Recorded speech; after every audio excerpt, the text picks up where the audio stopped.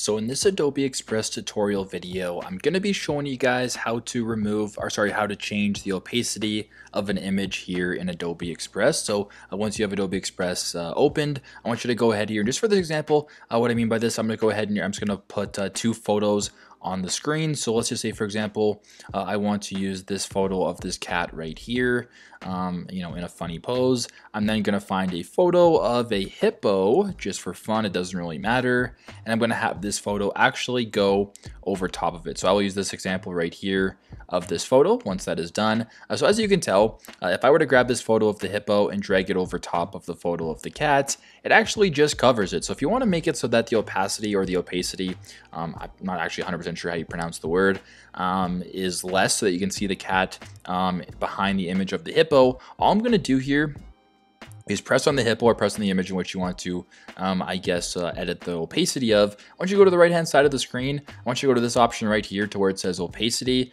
I want you to drag this bar. So as of right now, it's at 100, basically, uh, which basically just means you can't see through it. If you want to make sure that you can see through the photo, just drag this bar right here. And the more you drag it to the left, uh, the more transparent this photo is going to be. And as you can tell, uh, it is slowly going towards the back so that you can see the image of the cat in the background while still seeing a bit of the hippo that is actually above it. So let's just say, for example, you wanted to keep it um, at 20 right there. There you go. Uh, that is how you guys can change the opacity of an image. And basically now if I move this image, you can still see the cat no matter what, but you can still also see the hippo as well because the opacity has been lowered. So uh, that is basically how you guys can change the opacity of an image here in Adobe Express. I hope this video helps.